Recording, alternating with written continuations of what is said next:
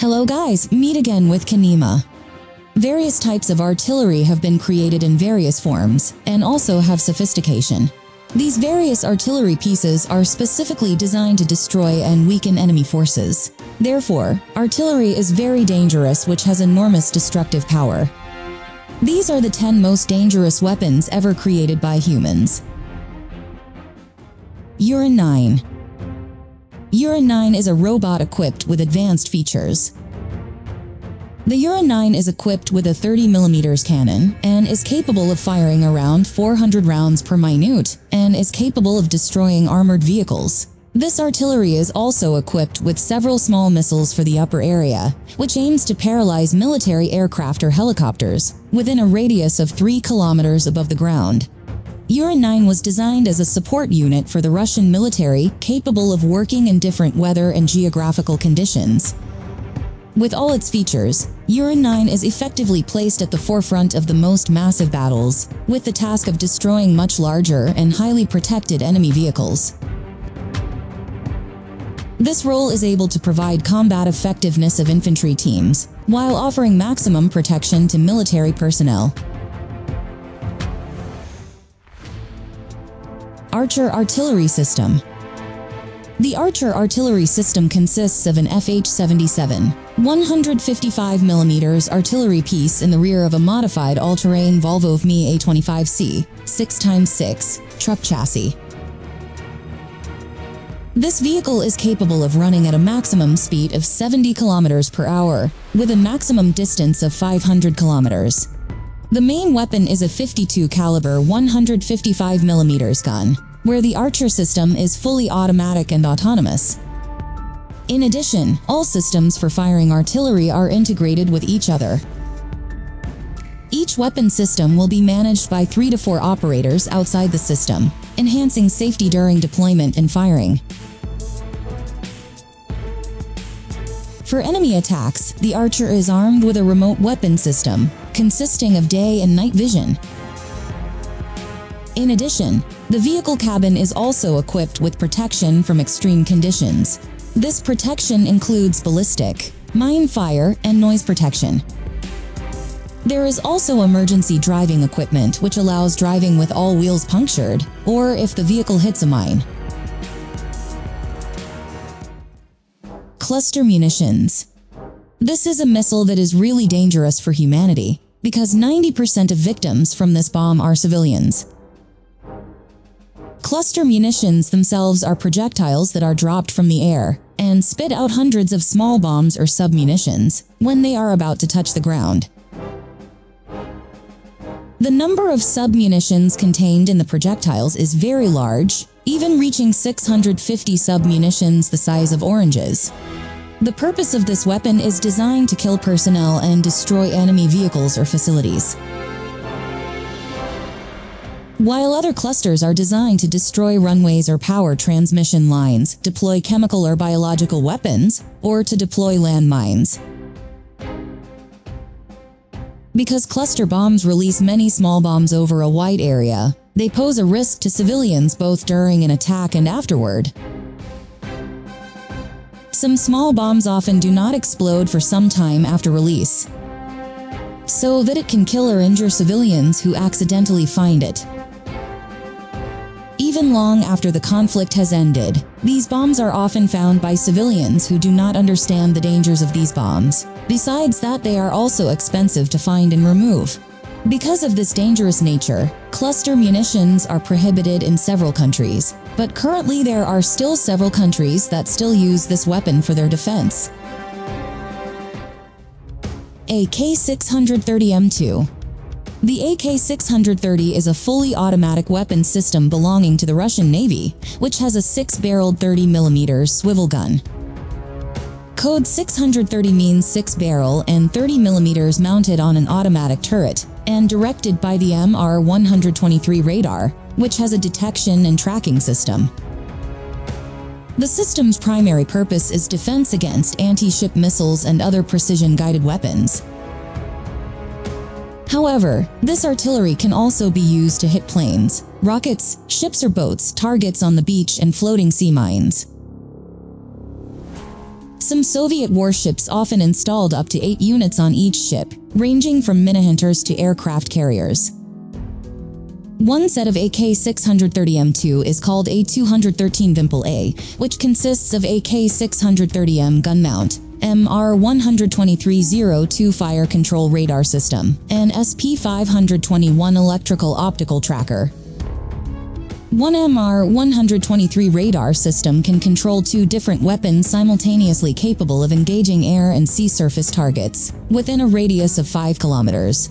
This radar is also capable of detecting MiG-21 sized aircraft as far as 7 kilometers. Ohio submarines. The Ohio submarines previously carried ballistic missiles with nuclear warheads, but were later converted with the most powerful and flexible weapons in the U.S. Navy. This giant submarine has the ability to carry 154 Tomahawk land cruise missiles and dozens of special operations troops to the area that is the target of the mission. In addition, Ohio has also turned into a submarine with very unique capabilities, ranging from drone carriers to being a command and control center. Another Ohio change was 22 missile tubes instead of 24, later modifying them so they couldn't fire nuclear missiles. Instead, each will be able to launch up to 7 BGM-109 Tomahawks. While the other two tubes have a locking chamber function, so that combat divers and Navy SEALs can enter and exit even underwater.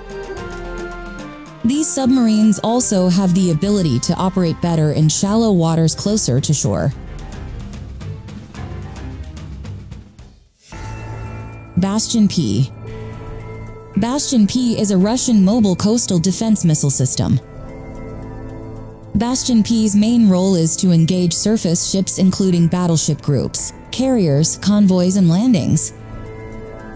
Each set consists of one to two command and control vehicles. ByCam 43101 6x6 truck, one support vehicle, four 8x8 launcher vehicles, each operated by a three-person crew containing two missiles, and four loader vehicles. Once stopped, the missile can be readied for firing within 5 minutes, and the two are fired in 2 to 5 second intervals. The launcher can remain on active standby for 3 to 5 days, or up to 30 days when accompanied by a combat duty support vehicle. The missile used by Bastion P is the P-800 Onyx, a supersonic anti-ship missile with a warhead of 200-250 kilograms.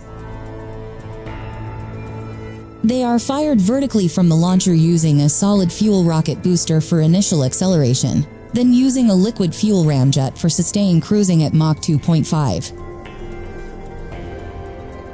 At the start of the launch, the missile navigation used GLONASS, a space-based satellite navigation system operating on Russian radio navigation satellite. Then active radar guidance when approaching the target. The missile can fly to a height of 14,000 meters before descending. This system is capable of destroying targets both at sea and on land. When the target is at sea, the missile has a range of 350 kilometers and nearly 450 kilometers when the target is on the ground. S-400 the S-400 Triumph missile is known by NATO under the code name SA-21 Growler.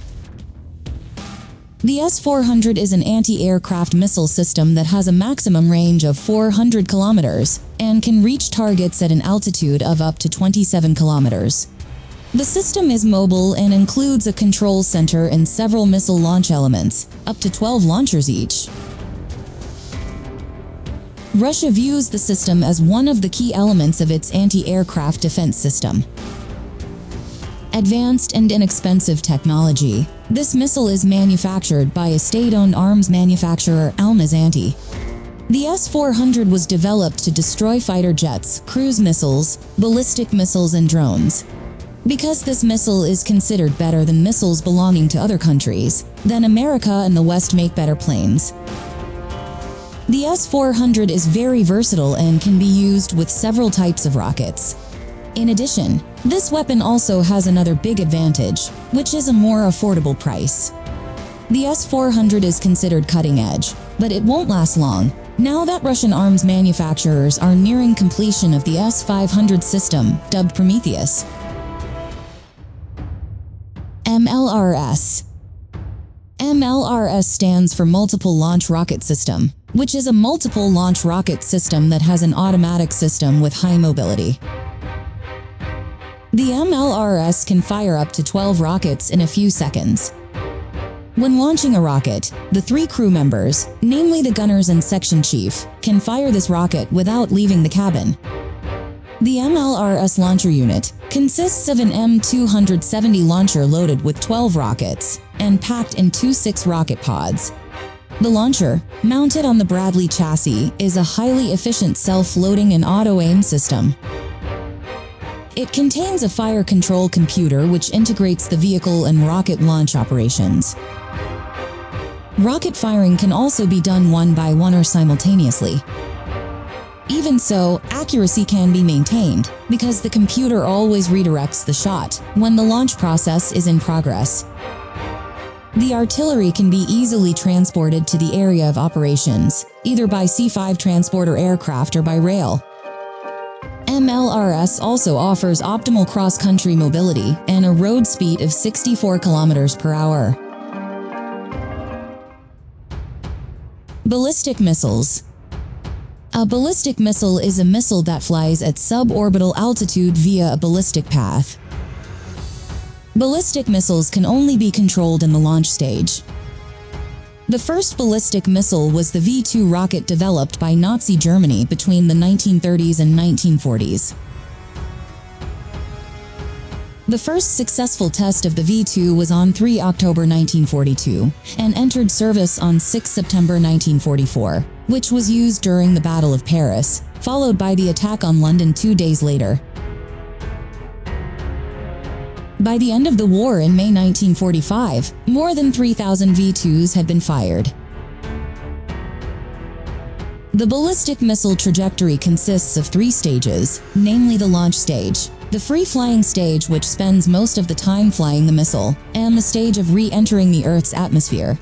Ballistic missiles can be launched from a fixed location or from launch vehicles, including ships, aircraft, or submarines. When it is in suborbit and there is no more propulsion, the missile enters the free-flying stage. To achieve long ranges, ballistic missiles are generally launched up to suborbit. Intercontinental ballistic missiles can reach an altitude of about 1,200 kilometers. This type of artillery has several categories according to its range, namely short-range ballistic missiles that have a range of less than 1,000 kilometers. A medium-range ballistic missile that has a range of between 1,000 and 2,500 kilometers. Intermediate-range ballistic missiles or IRBMs have a range of between 2,500 and 3,500 kilometers. Subcontinental ballistic missile and intercontinental ballistic missile or ICBM, which has a range greater than 3,500 kilometers. This missile can reach an altitude of up to 1,200 kilometers. Thus, this missile is capable of hitting targets at speeds of more than 6 kilometers per second, or Mach 17. MIRV MIRV stands for Multiple Independent Targetable Reentry Vehicle namely an exo-atmospheric ballistic missile payload containing multiple warheads. Some of these warheads consist of a single unit contained in one missile. In contrast to ballistic missiles, this exoatmospheric concept is almost always associated with intercontinental ballistic missiles. Only China, Russia, United Kingdom, United States, and France are currently confirmed to have a working MIRV missile system. Meanwhile, Israel is suspected of developing or possessing MIRV. The first MIRV was the Minuteman III, which had three smaller warheads weighing the equivalent of 170 kilotons of TNT, which replaced the 1.2 megatons of TNT in earlier versions of the missile. From 1970 to 1975, the United States phased out about 550 versions and replaced them with the new Minuteman III, which was equipped with a MIRV payload, which increased its overall effectiveness. The power of this smaller warhead is offset by the increased accuracy of the system, which allows it to hit hard targets more effectively than larger but less accurate warheads. The introduction of the MIRV caused a major shift in the strategic balance, where previously a single warhead could be anticipated using an anti-missile weapon. With three warheads, the enemy will have more anti-missile weapons to build, which means that it is much cheaper to increase attack than defense. The way the MIRV missile works is that the main rocket motor, or booster, pushes it into a free flight path or suborbital. Then the body maneuvers using a small onboard rocket motor with a computerized inertial guidance system. Then release the warhead towards the target. Then the body maneuvers back towards another target until the warhead runs out. So guys, those are the 10 most dangerous artillery ever created by humans. Write your comments below to add in if you like this video. Please like and subscribe to our channel or dislike if you don't like it. Thanks for watching and see you in another video.